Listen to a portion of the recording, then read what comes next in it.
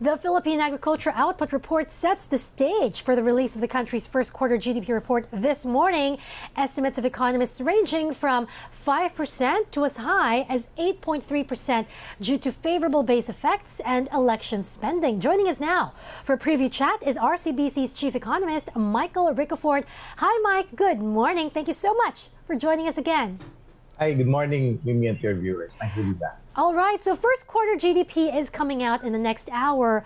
What are you expecting to see? I mean, if GDP equals consumption plus investments plus government spending plus exports minus imports, where do you see the strength and where do you expect a drag? Well, the strength, Mimi, would be practically uh, across all fronts because a, a year ago, if you recall, first quarter of last year, we still had uh, some packets of hard lockdown, some ECQ, especially towards the Holy Week.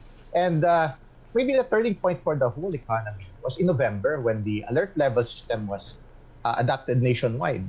So practically, lockdowns were just limited to the street or house level, so granular lockdown. So, so a year ago, it was an entirely different story prior to November 2021. So therefore, we're coming from a much lower base. So expe- we expect uh, many sectors in the economy, many businesses and industries to, to have uh, recovered significantly. Mm-hmm. So, uh, considering now that uh, starting March of this year, uh, the alert level system was was further east to the lowest alert level one mm-hmm. for Metro Manila and many other areas. At this point, more than half of all localities, or 58%, are already at alert level one. And there's a proposal by the economic team to further, uh, well, to make to make alert level one nationwide, and mm-hmm. hopefully that would come after the election. So mm-hmm. yeah, so the, so that's practically the biggest catalyst.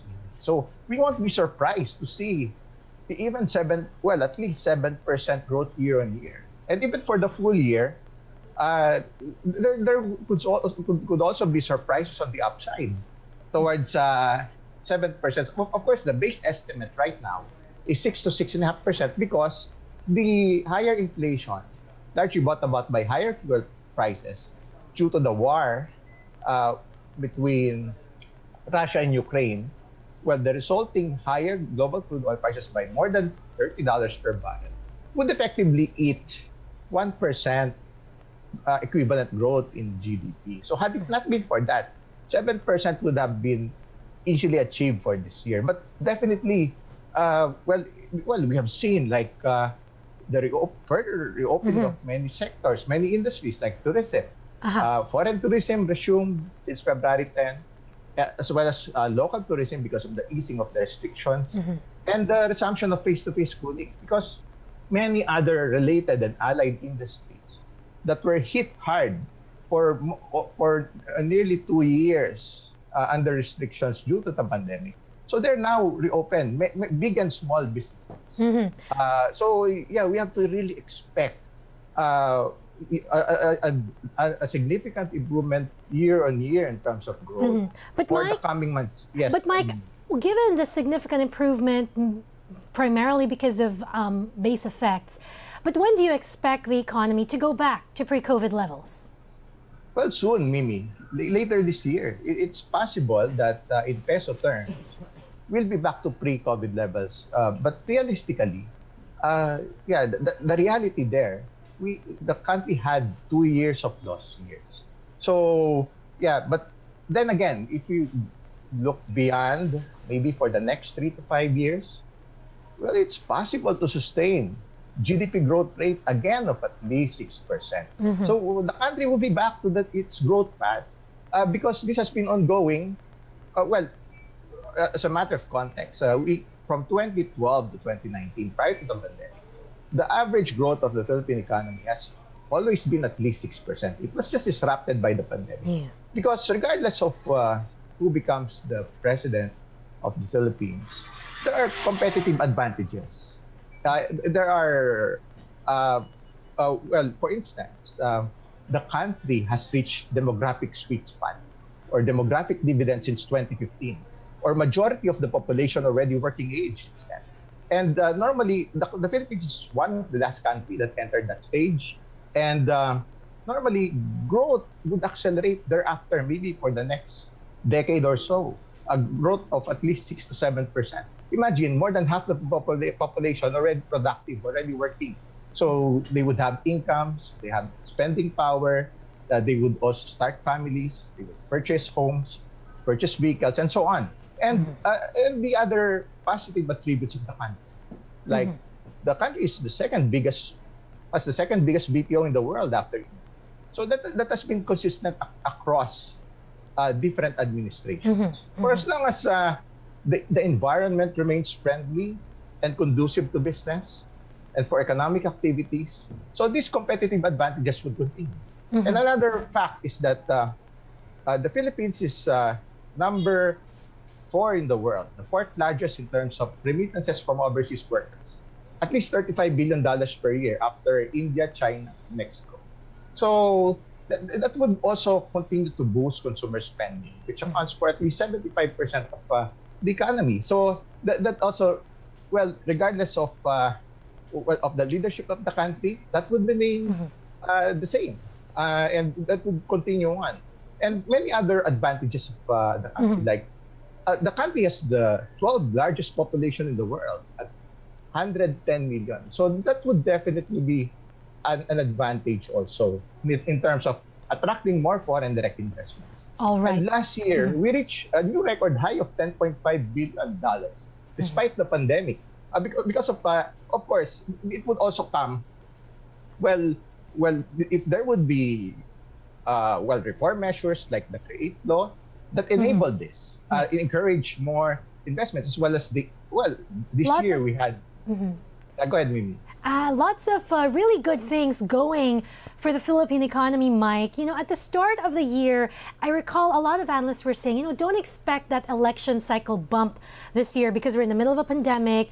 The campaigns will be smaller, so don't expect the spending to be substantial. But we did see the size the mammoth size of the campaign rallies, the sorties, and boy, are they wrong. Mike, I'm very curious, what sort of bump up are you expecting from election spending this year? Well, well, that's uh, well. Uh, in the past, Mimi, it was somewhere around uh, one of uh, GDP, or maybe a little less than that. Especially now with the current realities, we came from the pandemic. Yes, uh, now the campaign has uh, shifted towards more towards social media. Yes, uh, but but uh, yeah, we have seen the big crowds, the big uh, campaign rallies, and uh, that's something unexpected. It's a positive surprise in terms of election-related spending as a boost to economic growth. So that would still be a, a, driver, definitely. That would add to GDP growth. So well, that, that's on well, that's one part of the equation on uh, election-related spending, the positive impact on Yeah. consumer spending as well. And at the same time, if you look at the infrastructure spend, it has grown at least for the past five years. It has averaged more than five percent of 5%. GDP. So yeah, that's uh, comparing it to a few years ago. It was just two to three percent, and maybe for the past thirty to forty years, it was less than two percent. So definitely, that would be a growth driver also, uh, especially during the pandemic, as a major pillar to stimulate and pump prime the economy in terms of job creation and of course expediting the development of many areas along the path of these various infrastructure projects as well as to uh, help uh, boost the productivity of the economy and entice more uh, right. foreign direct investments. All right, so with all of the good news, um, the expectations for uh, 6 to even over 7% GDP year on year, what kind of Bangko Sentral rate hike can we expect given that growth? Because the governor did say, you know, they want to support the recovery, they want to wait for the first quarter GDP numbers before they decide whether the, the economy is strong enough to withstand uh, any rate hikes. Um, given your expectations for a pretty strong economic performance, what is your expectation for rate hikes? How many times, how steep, and how frequent will it be? It- Is it going to be a one and done thing? 125 bips this year, 225 bips this year? What are you looking at? Well, for the for the rest of the year, Mimi, it would be somewhere between 50 to 100 basis point hike. So, yeah, uh, well, at least the interest, well, we have to look at uh, various uh, angles and perspectives. First, the differential between BSP policy rate and Fed funds rate is now 100 basis points. historically, it has been, say, between 200 to 300 basis points. Of course, we have to incorporate the effects of the pandemic that would warrant a narrower interest differential. Because why the differential? Because that accounts for the difference in credit ratings as well as maybe the oh, differences in inflation. And mm-hmm. secondly, uh, well, if you look at uh, well in the past, um, prior to the pandemic, uh, the policy rate has been close to the long-term inflation average. If that is uh, somewhere around 3% or a little less than that, uh, so the policy rate should be kind of close to that. But definitely, because demand and supply, lots of liquidity infusion since the pandemic. So it warranted, there's a lot of uh, liquidity and uh, money in the system. Mm-hmm. So that, that supported also the relatively lower policy rate relative to inflation. But definitely, at, uh, well, has already been signaled by the local monetary authorities. Mm. So it could come as early as uh, next month. And transparency has always been favorable for the markets in ensuring order and the stability and predictability. And that's very important also. Uh, well, we, we have seen this unprecedented level of uh, transparency that's uh, mm-hmm. also helping market sentiment mm-hmm. uh, going forward. Uh, at least, uh, of course, it would maintain uh, comfortable interest differentials mm-hmm. with the U.S. and the other countries as well, especially in view of more Fed rate hikes down the road. All right, all right, Mike. Um, speaking of uh, the rate hikes, of course, the rate hikes are supposed to help temper inflation. Let's talk about inflation and the dollar. You know, I was speaking to a banker yesterday, and I was told that people have been trooping to buy dollars on the assumption that inflation will continue to rise. And here's what really bothered me. Some are even expecting the dollar to hit 60 against the peso, 60 pesos to a dollar. Could I get your quick comment on where you think inflation might peak for the Philippines as well as for the peso dollar handle?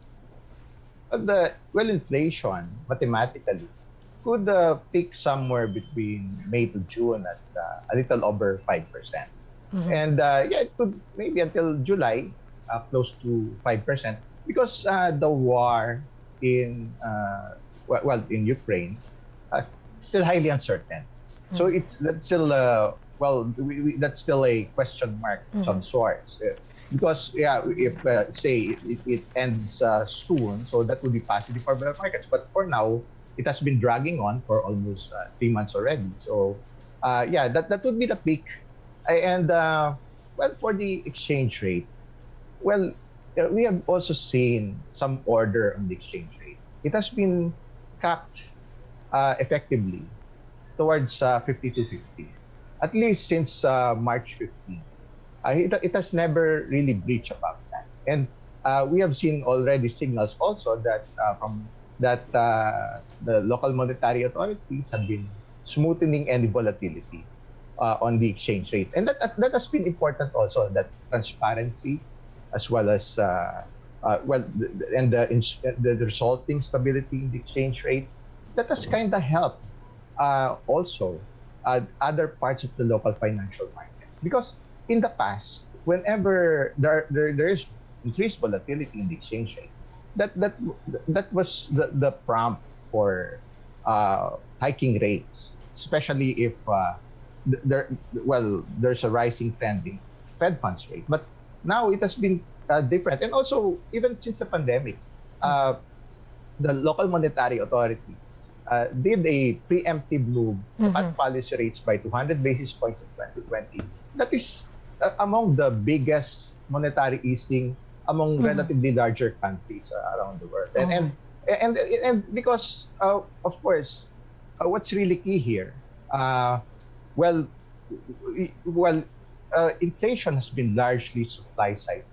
Mm-hmm. So therefore, none, well, given that, any local policy rate hike won't necessarily effectively address uh, relatively higher inflation. Mm. And um, normally, non-monetary measures would therefore be more effective. All right.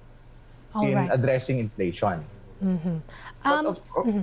Go ahead. But, yeah, but of course, going forward, uh, we have to monitor also uh, risk of second round inflation effects mm. like petitions for wage hikes yeah. and uh, transport fares. So mm.